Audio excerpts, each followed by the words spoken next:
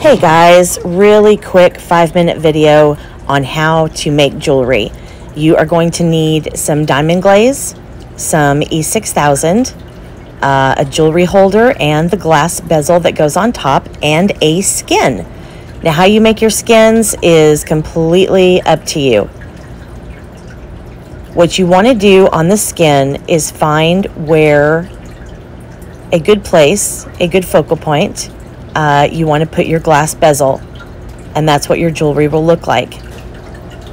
So once you've found that, what you'll do is take your glass bezel and put a few drops of the diamond glaze in the center of the bezel.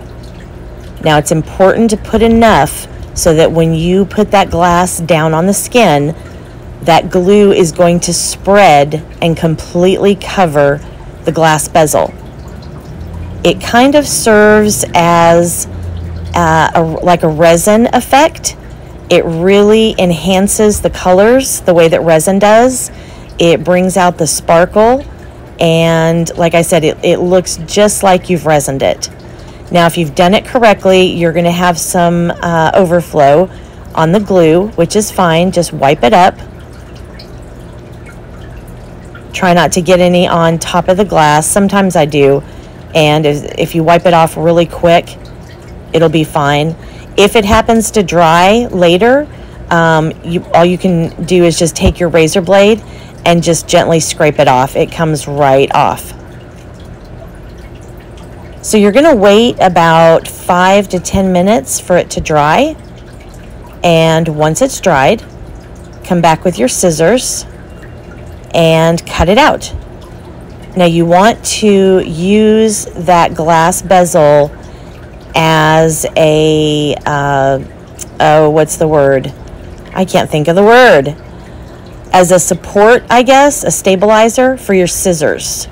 Just cut as close to the glass as you possibly can. Now this is a heart, so I'm not going to be able to get that uh, little top indention on the heart, but that's okay.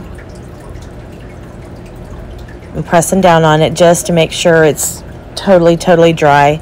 I did this pretty quick. So then what you're going to do is just take a razor blade, and if I'll get into the screen where you can see, again, you're going to use that glass bezel as a base for your razor blade. Just slice right along the base of the glass, kind of at an angle from the back of it so that you don't, uh, it, if you don't do it just right, you'll tend to kind of rip, rip off the skin. So do it from the back and cut towards the front and just use the glass as a base uh, to kind of slide your razor blade along. And be very careful and don't cut yourself. We love color, but we don't love blood in our videos. So just be very, very careful while you're doing this. Now, once that's done, I'm going to give it a little polish here in just a second. There we go. Make sure I don't feel anything. If there's glue on it, you're going to feel it. So there we go. So take your jewelry holder and you're going to take your E6000 and all you need is a little dab in the center of it. That's it. This stuff is the best adhesive I have ever, ever found. Put your glass bezel in on top if you need to center it, center it. Some of these uh, jewelry holders have just a tiny, tiny, tiny little bit of space. So center it if you need to. Press down on it really hard and walk away from it. Let it dry.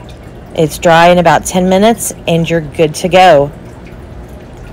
And ta-da. And these were a couple of uh, pieces that I have actually just done the past couple nights. Love those colors. Love how the, the light catches them. Just beautiful. That's part of my ocean series. And then that is part of my Harvest Moon series. Hope you learned something. Hope I was able to help you. Please let me know if you have any questions. I'm here for you.